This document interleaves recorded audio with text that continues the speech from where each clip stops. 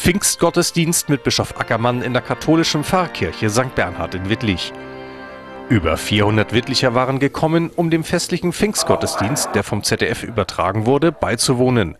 Unter Leitung von Bischof Ackermann, der seit genau einem Jahr dem ältesten Bistum Deutschlands vorsteht, stand der Gottesdienst ganz im Zeichen der 50-jährigen Partnerschaft der Diözese Trier mit Bolivien. Ich fand sehr schön, dass wir heute Morgen die Gelegenheit hatten, den Pfingstgottesdienst mit der Bolivien-Partnerschaft zu verbinden. Denn das Pfingstfest spricht ja genau davon, dass es die Gemeinschaft der Kirche gibt, über alle Grenzen von Sprache und Kultur hinweg. Und wir erleben das ja in unserem Bistum seit jetzt fünf Jahrzehnten in dieser wirklich gewachsenen freundschaftlichen Partnerschaft mit Bolivien. Insofern Pfingsten und Bolivien, das passt wunderbar zusammen. Und so waren durch einen 80-köpfigen Chor und Musikgruppe im Gottesdienst auch bolivianische Klänge zu hören.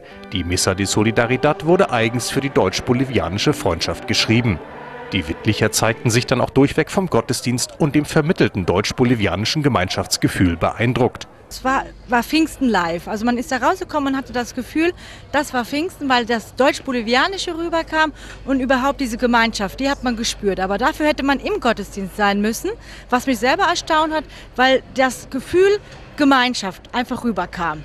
Also ich äh, fand den Gottesdienst nicht nur sehr feierlich, sondern er hat wirklich jeden angerührt und äh, insbesondere die Predigt, die unser Bischof gehalten hat, fand ich ganz hervorragend und äh, mich persönlich hat sie sehr beeindruckt.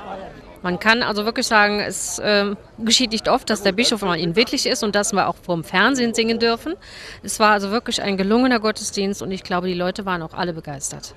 Insgesamt war ich erfreut, dass so eine rege Teilnahme auch von der gesamten Gemeinde war. Das hat mir schon gefallen. Und natürlich die Musik, die fand ich auch schön.